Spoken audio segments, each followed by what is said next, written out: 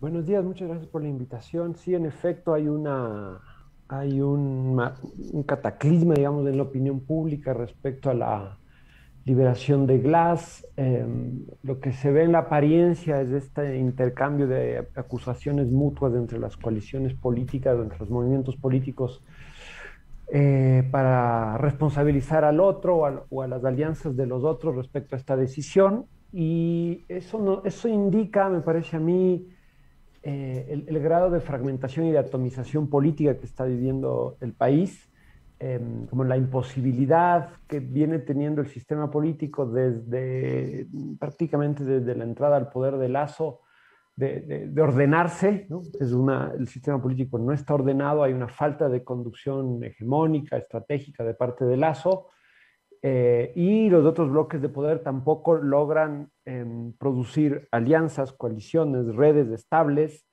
Eh, cada noticia, cada decisión, cada coyuntura realinea a los actores políticos. Entonces tenemos eh, esta, la impresión de que cada vez puede suceder algo, de que los actores políticos viven un nivel de incertidumbre estratégica enorme, y lo de Glass es como, sí, quizás hay un cataclismo mayor que en otras ocasiones, pero eh, pasó igual con la ley de la reforma tributaria o con la ley de inversiones, ya estábamos al filo de la muerte cruzada, entonces es como que el sistema político con una falta de hegemonía de algún actor, de conducción estratégica, no logra ordenar el conjunto de decisiones, de intereses, hay una fragmentación y en apariencia esto se ve con el hecho de que nadie se hace cargo de lo que sucede en la política y nadie eh, asume algo central en la política, que es el hecho de que en, política, sobre todo en, una condición como la que vive la democracia ecuatoriana, este, es fundamental los pactos, las alianzas, eh, y, los actores políticos deben hacerse cargo de aquello. ¿no? La política es, es conflicto y es articulación y vemos que eh, de, estas dos lógicas no se hace cargo nadie, es como esta, vivimos un estado de zozobra y de fragmentación permanente que tiene que ver muchísimo con la falta de conducción y la falta de sentido político, estratégico del, gobierno, que un sistema presidencialista es el que está llamado a ordenar un poco el juego. Ahora, Franklin, eh, hemos vivido dos semanas desde que no se aprobó la ley de inversiones y en pocos días hemos visto emerger varios conflictos, como usted bien señalaba, eh, que tiene que ver la corrupción de los asambleístas, lo que pasa en el Ministerio de Defensa, Guadalupe Llori, bueno, varios escándalos que da la impresión además que Guillermo Lazo los está orquestando, los va dirigiendo, pero en realidad se beneficia Guillermo Lazo, su proyecto político, de alguna manera se beneficia con esta política del escándalo. Eh, no, lo veo, ¿no? en la evidencia como un poco empírica, lo que vemos en las encuestas, eh, no, aparece, ¿no? Vemos que Lazo está quizás eh, desde, los últimos dos o tres meses quemando buena parte de su capital, de su credibilidad, de su capacidad de conducción. vemos a un Lazo muchas veces este, desbordado.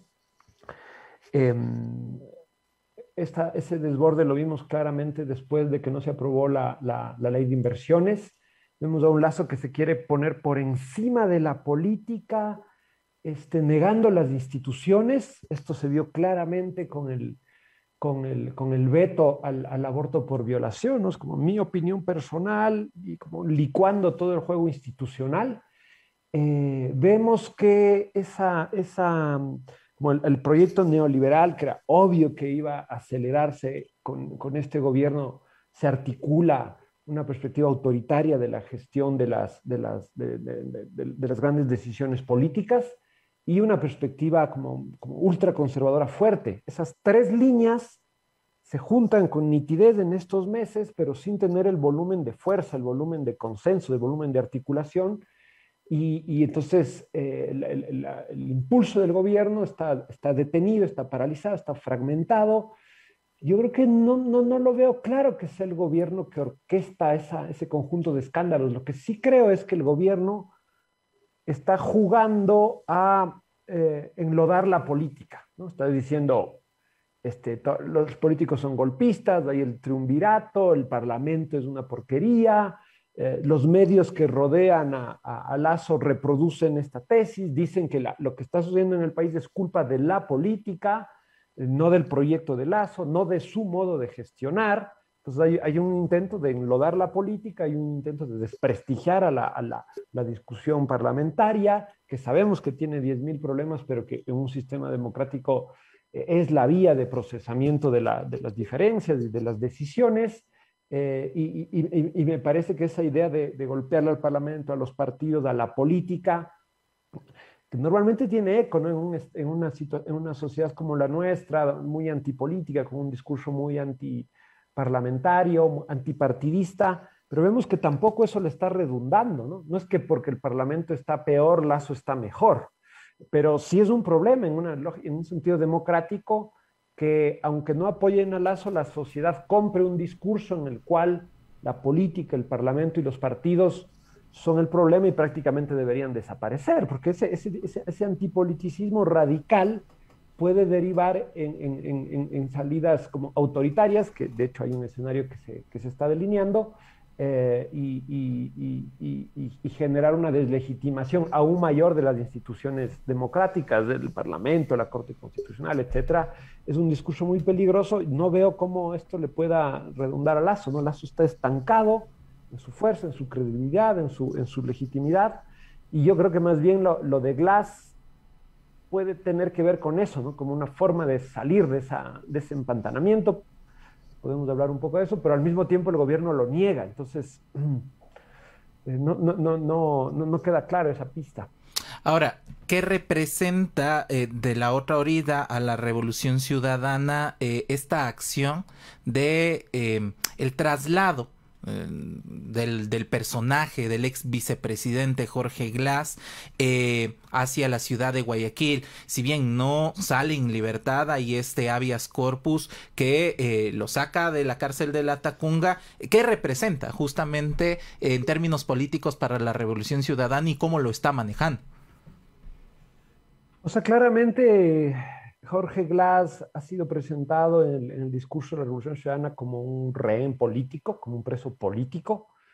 Em, figura que además tomó mucho más cuerpo y forma a partir de toda la política represiva de octubre de 2019 y la serie de presos políticos de, Moreno y Guillermo Lazo. Ahí se encadena la votación por las amnistías con esta liberación. En el Ecuador han habido presos políticos existen presos políticos. los últimos años han visto con nitidez esta figura. Eh, la Revolución Ciudadana ha, producido un discurso de, como de agravio, de persecución, de lawfare, y esta liberación eh, efectivamente como un poco confirma esta tesis. Em, es, un, yo diría, es una, una victoria táctica eh, para la Revolución Ciudadana uno ve cómo sale, sale el, ex vicepresidente y hay pequeños mitines por aquí y por allá, hay un discurso de la Revolución Ciudadana, que es la primera fuerza política del país, que se expande, que tiene mucha resonancia, eh, y uno advierte ahí que la, identidad política, ¿no? la identidad colectiva de la Revolución Ciudadana del correísmo está reforzada, se refuerza, es, increíble esa, esa, esa, capacidad de, de eh, ese, cemento identitario que, es una base, yo diría, es una base en la política, en los movimientos sociales, es una base de la cohesión, de la organicidad. Entonces me parece que es un momento de refuerzo hacia adelante. Y ahí yo diría, pero habrá que ver cómo se juega esto, porque si efectivamente la salida de Glass es parte de, yo no voy a hacer un acuerdo, pero es parte de un intento del, del gobierno de reordenar el juego político y de volverse a acercar a ciertos sectores, especialmente la Revolución Ciudadana, la pregunta es si esta liberación de Glass va a ser finalmente un deterioro del capital político de Correa y de la RC, pues como ya vimos cuando se aprobó la reforma tributaria, el hecho de acercarse a Lazo y a su agenda solo, solo puede ser abrir un momento de desgaste al capital político que ha acumulado. Entonces vamos a ver, ¿no? Vamos a ver si es que cómo juega a partir de acá. Justamente para complementar la pregunta, ¿cómo este, eh, estas señales y esta acción interna de, la agenda eh, de la Revolución Ciudadana llamada correísmo ratifica el sostenerse en estas figuras principales. Vamos, ha pasado varios años, ya lo nombraba al inicio de este programa, de la salida del eh, ex, el expresidente Rafael Correa, su no presencia en el país, eh, Jorge Glass en la cárcel de la Tacunga. Y se está reeditando el sostener esa base política frente a estas figuras. ¿Acaso no, hace, no, no aleja otras posiciones de otros movimientos y ratifica más bien eh, lo que se tenía de, concepción de la revolución ciudadana con, con esta base política. Sí, yo creo que la revolución ciudadana no se esfuerza demasiado en ampliar su base política. Eh, está bien, desde a partir de 2018 es como que su principal esfuerzo táctico es sostener lo que ha tenido.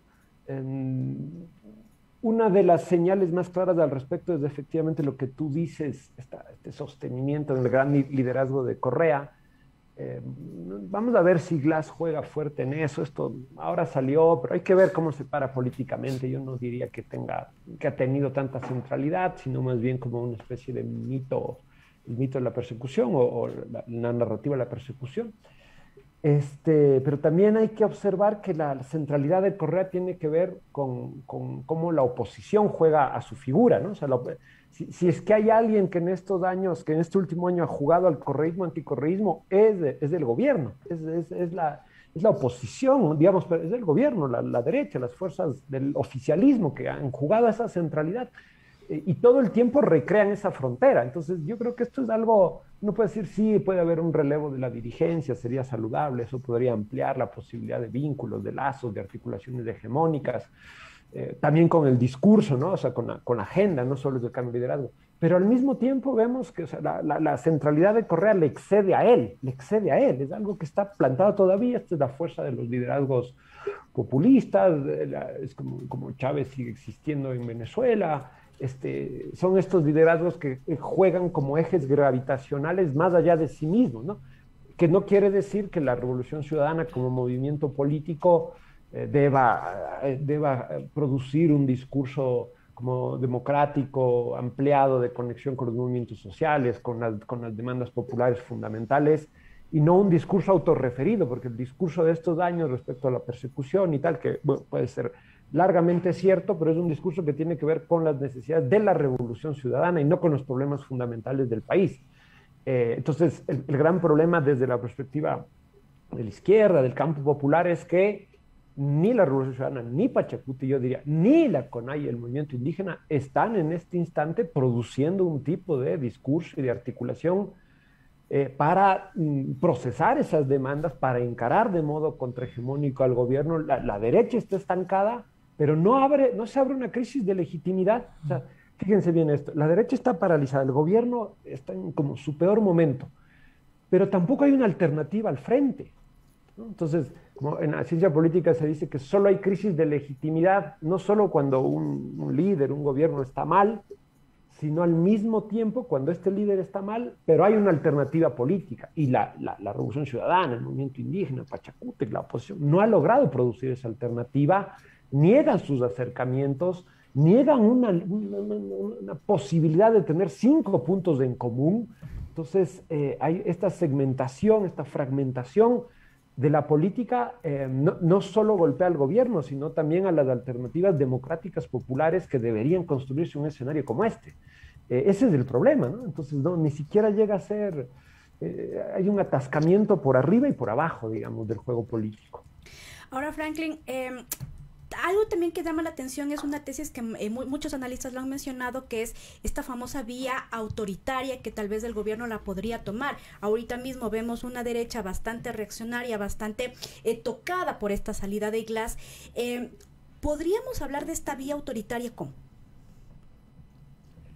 notablemente, ¿no? Notablemente. Yo diría, em, lo primero es no aislar a Lazo del ciclo político que se abre, yo diría, en 2018. En 2018 hay un, junto con un acuerdo con el Fondo Monetario en particular, el nombramiento de Martínez, un hombre de las cámaras del Ministerio de Economía. Esto marca un punto de inflexión en el juego político de la última década en, el Ecuador.